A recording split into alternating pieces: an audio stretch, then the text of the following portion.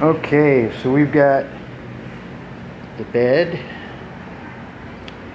the TV stand, microwave, trash can,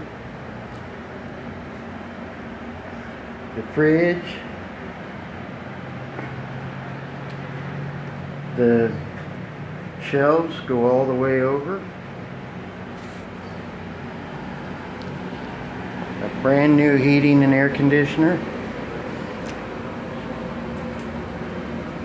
Towel rack. New sink and vanity and faucet.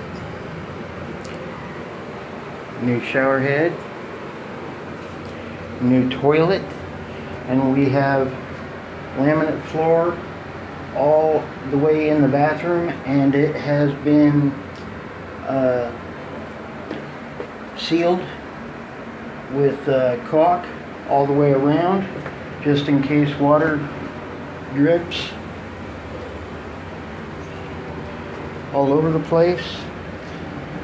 And I love this transition. This transition is awesome.